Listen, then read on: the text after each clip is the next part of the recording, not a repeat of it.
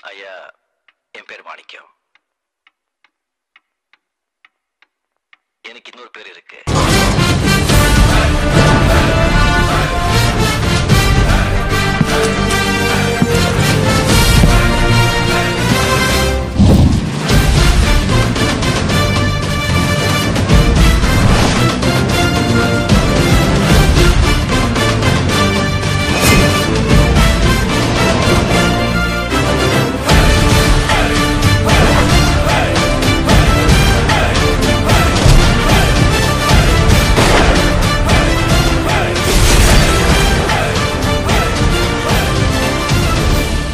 തമിഴ് ജനതയുടെ ആവേശത്തിന്റെ പ്രതീകമായ ശിവാജി റാവു എന്ന രജനികാന്ത് സാറിന് ഇന്ന് അറുപത്തി ഒമ്പതാം പിറന്നാൾ. അദ്ദേഹത്തിന്റെ ഫാൻസ് അദ്ദേഹത്തെ തലൈവർ എന്നും ജനങ്ങൾ അദ്ദേഹത്തെ സൂപ്പർ സ്റ്റാർ എന്നും വിളിക്കുന്നു. ഏഷ്യയിൽ ജാക്കി ചാന് ശേഷം ഏറ്റവും കൂടുതൽ പ്രതിഫലം വാങ്ങുന്ന താരമാണ് രജനി സാർ. രണ്ടായിരത്തി പതിനാറിൽ രാജ്യം അദ്ദേഹത്തെ പത്മവിഭൂഷൺ നൽകി ആദരിച്ചു.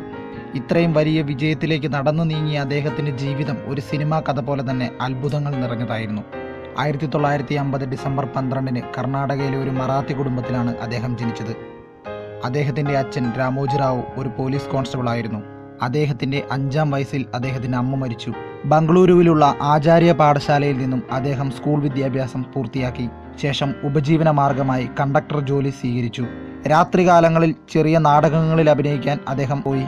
അഭിനയത്തിനോടുള്ള ഭ്രമം അദ്ദേഹത്തെ മദ്രാസിലെത്തിച്ചു. ആയിരത്തി തൊള്ളായിരത്തി എൺപത്തിയൊന്ന് ഫെബ്രുവരി പതിനാറിന് അദ്ദേഹം ലതയെ മംഗല്യം ചെയ്തു. മൂത്ത മകൾ ഐശ്വര്യ തമിഴ് സൂപ്പർ താരം ധനുഷിനെ വിവാഹം ചെയ്തു. എഴുപതുകളുടെ തുടക്കത്തിൽ മദ്രാസിലെത്തിയ രജനീകാന്ത് സുഹൃത്തുക്കളുടെ സഹായത്തോടെ മദ്രാസ് ഫിലിം ഇൻസ്റ്റിറ്റ്യൂട്ടിൽ ചേർന്ന് പഠിച്ചു. ആയിരത്തി തൊള്ളായിരത്തി എഴുപത്തിയഞ്ചിൽ കെ ബാലചന്ദ്ര സംവിധാനം ചെയ്ത അപൂർവരാഗങ്ങളാണ് രജനീകാന്തിന്റെ ആദ്യ സിനിമ. എന്നാൽ അദ്ദേഹത്തിന്റെ ഉള്ളിലെ നടനെ വെളിപ്പെടുത്തിയ ചിത്രം മൂன்றிമുടിച്ചാണ് അതിനുശേഷം പതിനാറ് വയതിനിലെ ഗായത്രി തുടങ്ങിയ സിനിമകളിൽ വില്ലനായി അഭിനയിച്ചു. പിന്നീട് ഭുവന ഒരു കേൾവിക്കുറി മുള്ളും മലറും തുടങ്ങിയ ചിത്രങ്ങളിൽ ക്യാരക്ടർ റോളുകൾ ചെയ്തു.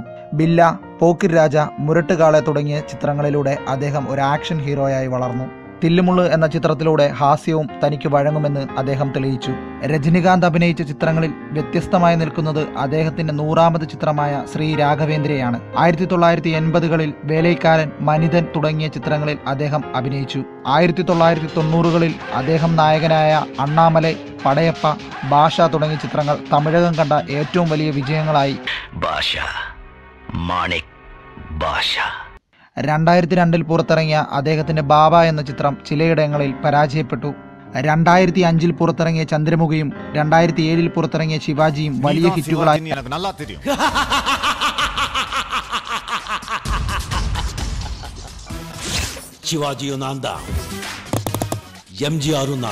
രണ്ടായിരത്തി പത്തിൽ പുറത്തിറങ്ങിയ എന്തിരൻ ഇന്ത്യൻ സിനിമാ ചരിത്രത്തിന്റെ നാഴികക്കല്ലായി മാറി.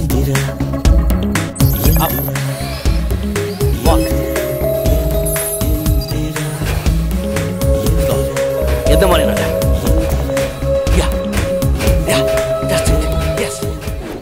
இருபது பேர் அனுப்பி வச்சேன்.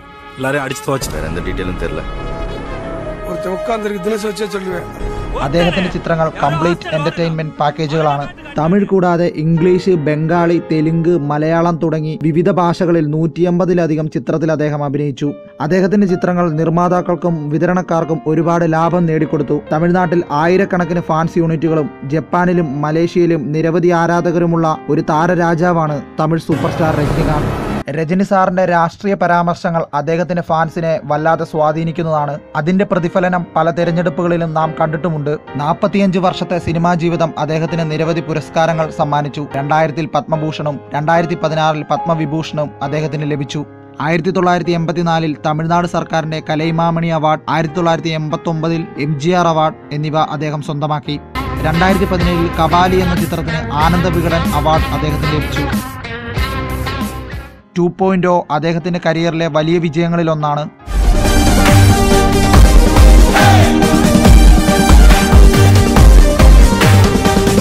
എല്ലാ രജനി ആരാധകരെയും ആവേശത്തിലാഴ്ത്താൻ ഒരു ബ്രഹ്മാണ്ഡ ചിത്രം രണ്ടായിരത്തി ഇരുപത് പൊങ്കലിന് തിയേറ്ററുകളിൽ എത്തുന്നു.